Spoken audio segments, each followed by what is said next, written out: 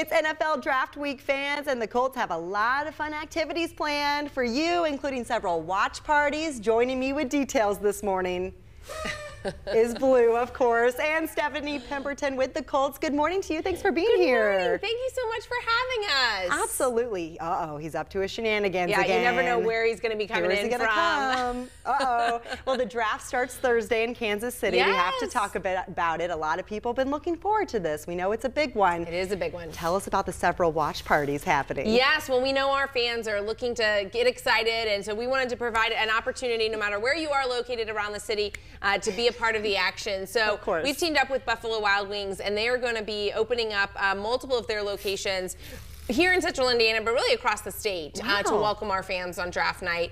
Um, so we'll have giveaways and we'll have here in the central Indiana locations, we're going to have some of our alumni players. That Broad Ripple location that you're seeing on your screen, that is kind of the main location on Great. 62nd Street. Blue is going to be there. Oh. Um, but again, locations in Greenwood, we've got one on the north side, uh, Plainfield. So um, lots of options no matter what, where you're Yeah. located. And those are going to kick off at 7. Obviously, the draft um, coverage starts at 8 when, when the first team is on the clock. So, um, so we want to get make sure you get there early, get your seats, get your giveaways.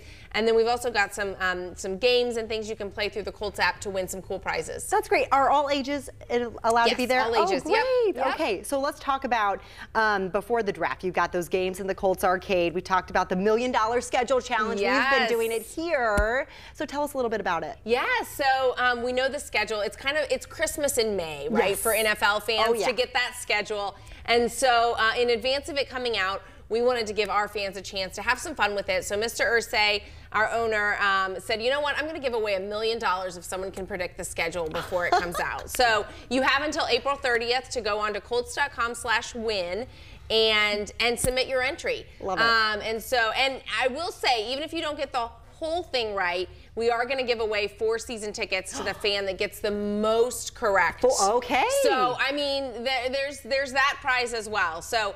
Um, definitely uh, check that out again, Colts.com slash win, and all of the draft info is at Colts.com slash draft. Wonderful. Real quick, what's the Colts Inner Circle? How are they involved in this? Yeah, so the NFL has created this inner circle and invited teams to bring fans from all across the country to kind of partake in that draft festivity. So we have our own Colts section in the inner circle.